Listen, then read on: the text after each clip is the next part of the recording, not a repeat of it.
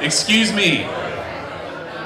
Excuse me, especially people in the back of the room, people in the antechamber, people in the far room. Why don't some of you come in here? That we've got a whole beautiful space here with nice floors. You should, you should people it. My name is Jared Bland. I'm the books editor of the Globe and Mail newspaper, website, media concern.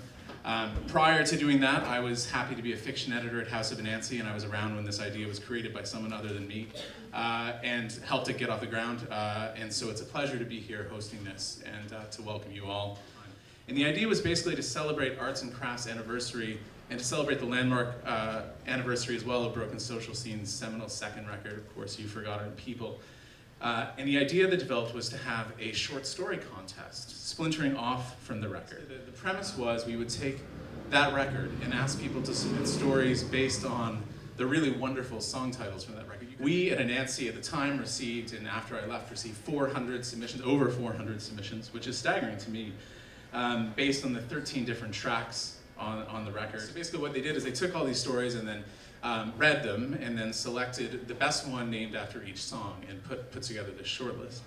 It was led by Janice Zawerbny, Anansi's uh, fiction editor, who's, who's right in front of me, um, and it had lots of members of Broken Social Scene, including Amy Millan, Leslie Feist, Charles Spearin, and Brendan Cannon, Canning. Um, let's begin with the special jury honorable mention, um, which is late 90s Bedroom Rock for the Missionaries by Lila Robertson.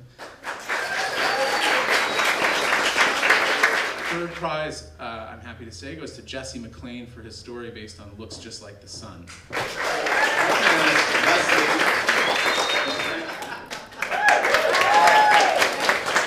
Second prize goes to Sherry Kassman for her story based on the Pacific theme. And finally, our first prize. First prize! Would Jane Oskowski come forward and accept her first prize?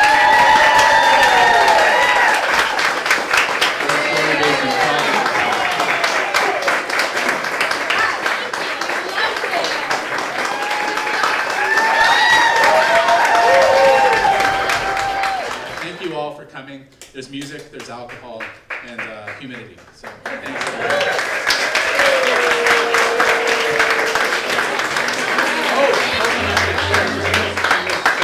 I forgot a really important thing that I was told to say right as I went on stage, and I always do that. Um, the winning story is being published live tonight uh, at, at the Walrus Magazine's website.